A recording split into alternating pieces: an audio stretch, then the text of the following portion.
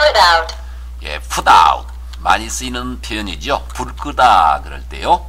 put out the fire. 예, 불을 끄다 그런 얘기죠. 푸다 웃다.